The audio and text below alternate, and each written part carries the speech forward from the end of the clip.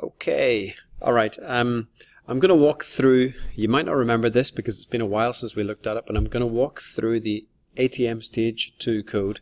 This is what you have to know before we integrate them together. Now, we've already done this, um, although you didn't really go into a lot of detail making your own version of it. So I'm going to remind you of my one, which you're probably going to be using, and how you would write your own. Okay, so remember we're talking about the customer, the account, and the transaction classes. Um, and they kind of look like this. Remember, it's aggregation because a customer contains accounts, and accounts contain transactions. Right, so let's have a little look. Um, okay, so we know, let's, let's look at the account. This, um, first of all, this little diamond here, um, if it's hollow, this means aggregation and if it's filled in like this this means composition. Now right now we're not really going to worry about the difference between the two of them. Um, we're just going to say that this customer here contains accounts and each account can have transactions in it okay?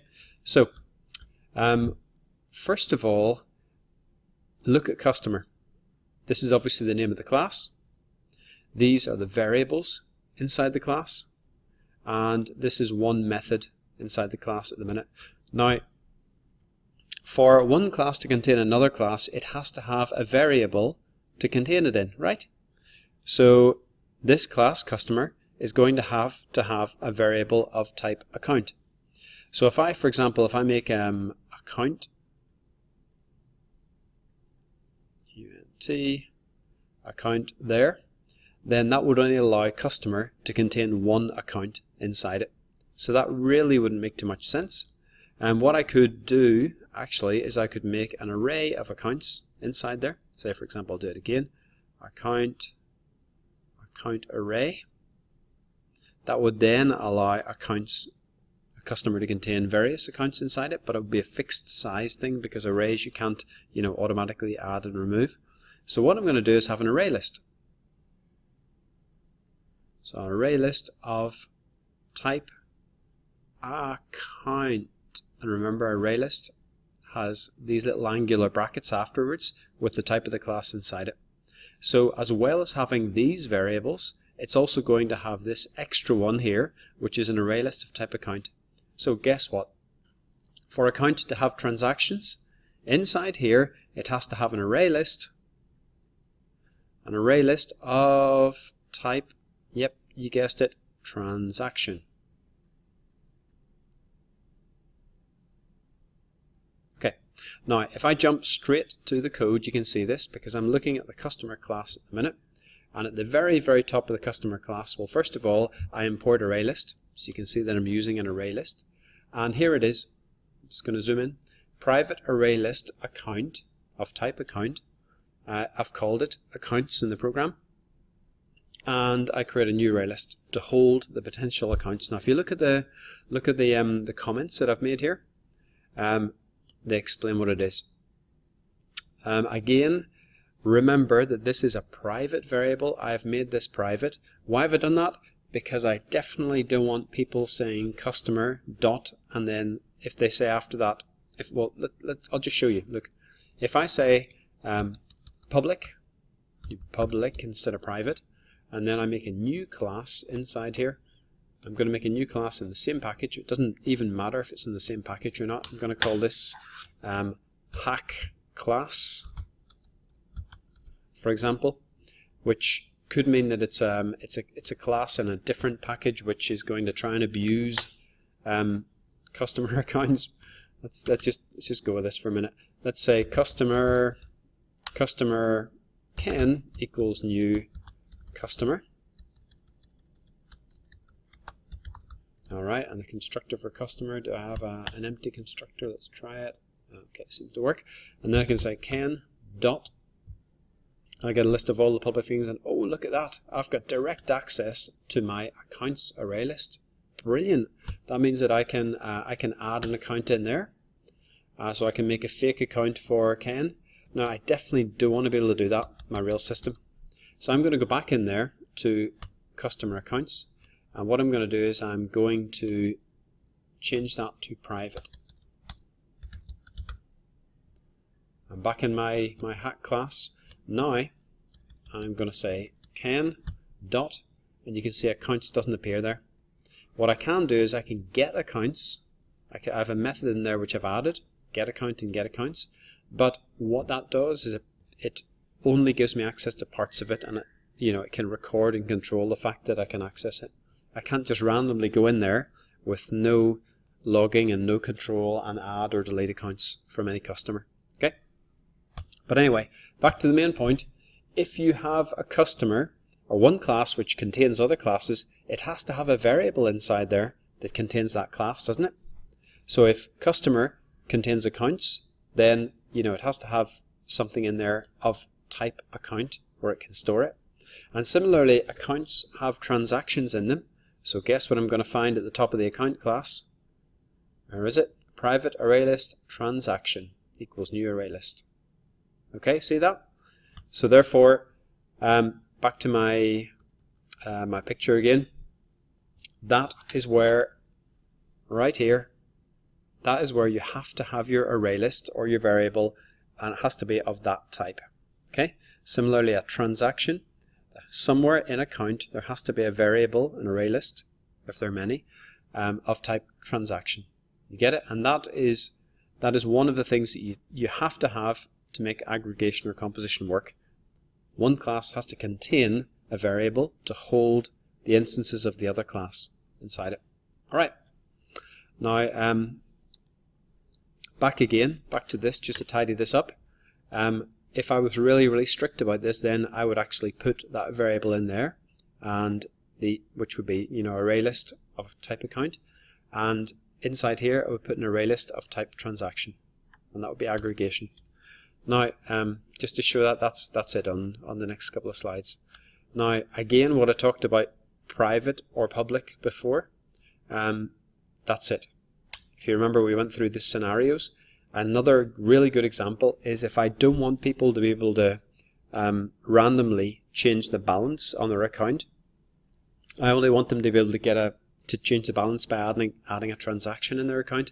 Well, then I make the balance private, and I make a method called get balance that returns the balance to them. So they can't change the balance. All they can do is read it. You know, if this was public here, then like I've just demonstrated before, they could type in their account number dot balance equals you know balance plus 100 and have 100 more on their account. Okay, now I'm going to look at the customer code for a minute and you remember that all classes contain two types of things. They contain variables and methods, otherwise known as state and behavior. Otherwise known as well variables, variables, state. They're also called fields and they're called properties, but it's the same thing, it's information. Whereas behavior is methods, behavior, functions, those words all mean the same thing. Okay, so up here at the very, very top, we have the variables, i.e. the state. That's it there. That's the information that we know about a customer. That's what appears in that UML diagram up here. And then afterwards, we have all of the functions. And these functions can either be um, they can either be kind of normal gets and sets, or they can be you know things that we specifically want the customer to be able to do. Now, inside a customer, look at the functions on the right hand side. You can see these in Eclipse. Um, it's got a lot of gets and sets. I happen to have generated these automatically in Eclipse. You can do it very easily by going into uh, generate getters and setters. But, or you can type them out yourself, it doesn't matter. Um, so most of the code inside there, most of the functions are gets and sets. Um, now there's also one called add account, which I've put in there, which um, allows me to add a new account into the array list of accounts. And the reason I put that in is that I don't want the customer, I don't want the user just to, to get hold of that array list and add himself, because then I've, I'd have no way of logging it. And if you look at this, the big advantage is I do exactly that. I he passes me in an account when I want to when he, when he says customer dot add account. Um, the testing class or the class passes in an account object, and all I do is I add it into the array list. But I also print out on the screen new account number added by this customer. Um, that's the equivalent of logging it. So if I was working in a big bank, I would log that transaction somewhere in a file, keep keep track of it, okay? Um, another method I have added in, um, which is going to help us a lot when we do our GUI and test it all out, is this one here. Um, generate account with random transactions. And that just generates some test data. So we don't have to make a lot of different accounts and fill it full of transactions. And that can generate hundreds of random transactions for us in there so we can test out our account. We'll be using it a bit later on. You don't really need to understand that right now, but it uses random numbers for the account types and transactions and it'll just generate a, a random style account that we add to our customers so we can test it out and see things on the screen. Okay, right. So the important thing to know about customer is that it has, out of the methods that it has, the only real important ones, apart from the gets and sets, are um, adding an account, removing an account, and generating an account with some random data in it. And of course, in the live system, if we are ever, you know, going to produce this, we would remove that because we don't want to generate random data in there. Okay. Um, accounts. Um, if I click on the account, of course, you know that the first thing that you're going to see in the very top are the fields, otherwise known as the state, otherwise known as the variables. Uh, they're always at the top, followed by all of the functions. Um, here we go. Starting off with the array list of transactions. Um, sorry, that's the variable array list of transactions. Starting off with the account um, constructor, um, then the gets and sets. And if you look at these, most of these variables, or most, sorry, most of these methods here are gets and sets generated automatically by Eclipse. Um, uh, the biggie, the one that isn't, is um, is add transaction because when you're adding a transaction in, um, you want to put a bit of logic in there, don't you? You want to check that, for example, if it's a withdraw, if they're taking money out of the bank, do they have enough money in their bank account? um, are they taking $100 out and they've only got $20 in the bank account? If so, you print out invalid transaction, not enough money in there. Sorry, go away. Can't do that. Um, otherwise, um, give the transact, give them the money, but make sure you deduct that money from the balance inside their account. Remember, we're not allowing these users to access the variable balance directly. It's private up there, like I showed you a few minutes ago. It is private, they can't get at it. The only way they can change their balance is by adding a transaction. So we've got to make sure that when they add the transaction, we do actually change the balance here. Okay.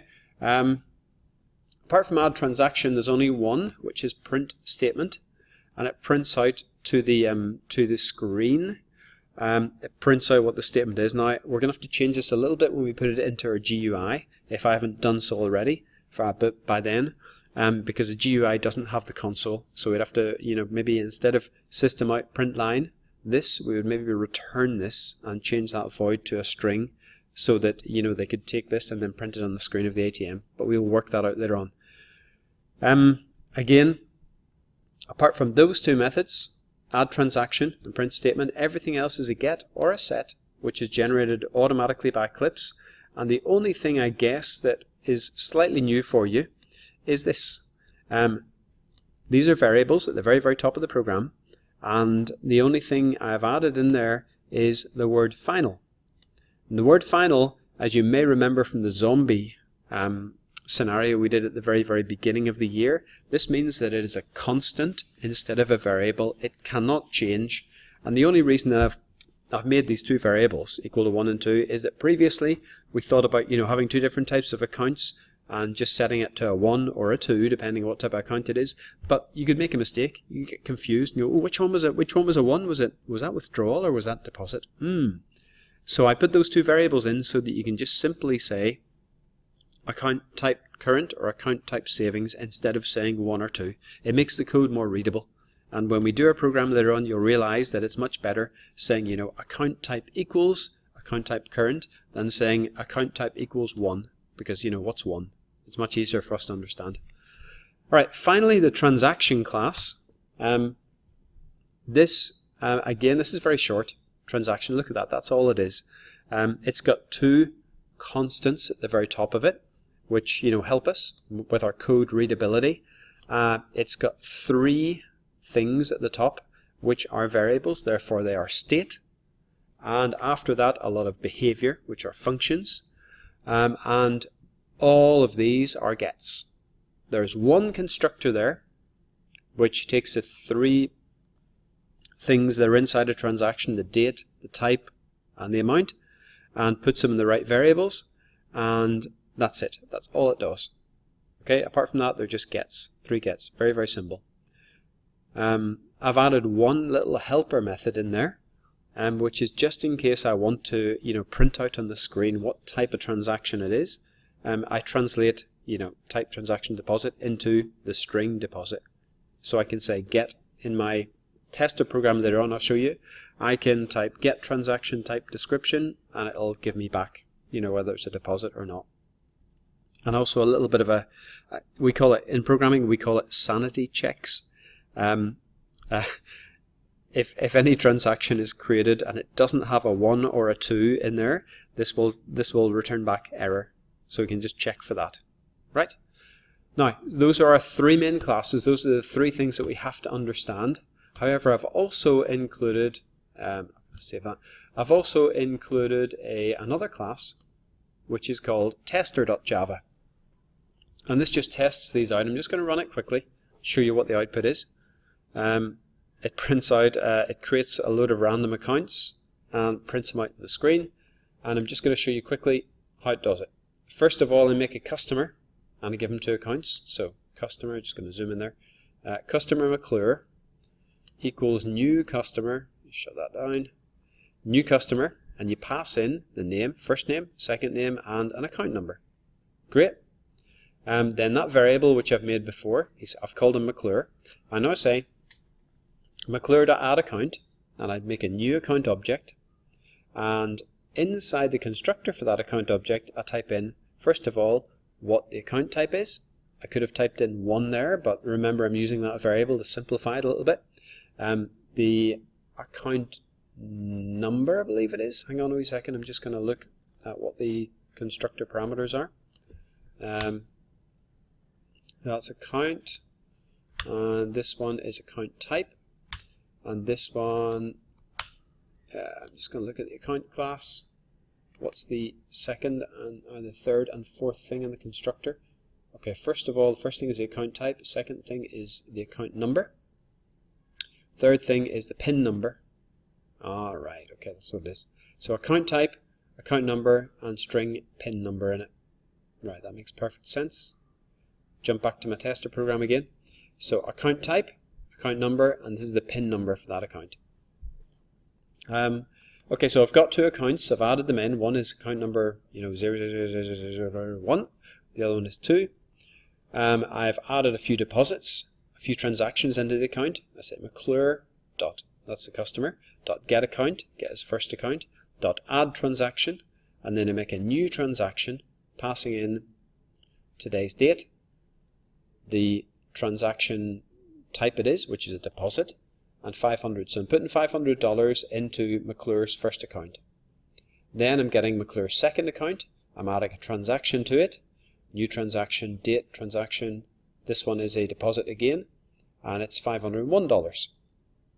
So far so good. I'm doing exact, I've copied exactly the same code again. This time I'm doing a withdrawal. The only thing I've changed is that and the amount. So I'm taking $10 out of both accounts, uh, and then I'm printing out the balance of both accounts. Alright, now, what I've done is I've combined a lot of this on, on, on one line, which, you know, to make your code more readable, you probably, in real life, I probably would have split it into a couple of different lines. For example, I'm going to give you an example here. I could have said, um, could have taken this bit here, um, about the transaction. I could have taken this and I could have said transaction t equals new transaction. And then I could have added t in here. And I could have said account account A equals McClure.getAccount that one. There you go and um, then I could have said A dot add transaction T okay and I've got rid of that already. So um, look at compare these two for a second. Make that a bit bigger. Um, you could either split something into three lines like this, where you make a transaction first of all, all right, and then you get the account you want to add it into, and then you say um, a.add transaction t. Okay, is that more readable to you, or is this more readable where it's all in one line? It's up to you. It's completely up to you. Um, but this just shows that you can do it both ways. Okay, right. That's all um, I'm really going to show you today. What I what I want you to do is understand this code. Um, if you haven't written your own code, at the very least understand this, and i.e. the customer, the account, and the transaction. And please go through the comments in green that I have written in this code, explain what um, accessors and mutators are, follow the link and have a quick look if you don't understand that. Um, I have um, I've explained about a constructor which we've gone through a couple of times in class just in case. Um, but default constructor and another constructor. Remember constructor is the very first method that is run every time you say new something. See here, new transaction. Every time I say that, it creates a new instance of the class and it runs the constructor. Okay, and inside which constructor does it run? It runs the, the constructor that has the same parameters because you can have more than one constructor in a class. It runs the constructor with the same parameters that you pass in there. And the main thing that a constructor does, for example, in account, um, is it it sets the default either the default fields or variable values. For example, if I just run this one, if I just say new account double brackets, it will make the balance equal to zero. I'll make the PIN number equal to that. Alright. However, if I say new account open brackets and I pass in a number, a string and another string, like I've done in my tester program, the first one will be the account type, whether it's a, you know with a savings or a or a or a what's the other one? Uh, savings or current, um, or uh, and then it'll and then it'll say what the account number I want it to be is, and it'll set that, and then it'll set the PIN number. Now I've just realized as I look at this code, I've just realized that in my default um, account where I don't pass anything in, I forgot to set the type of account it is. So I'm just going to do that now. This dot account type now what do you reckon? If nobody, if they don't specify, this should never happen. You should never be able to create an account without saying what type it is, but if they happen to do it, I'm going to set the default equal to um, a current account, which I guess is the most popular one. Okay? Right, um, hope this has helped. Um, again, if you have any questions, please get back to me. And um, and the most important thing is not to know this particular code, but to understand the concepts. Alright, thank you for listening, and bye.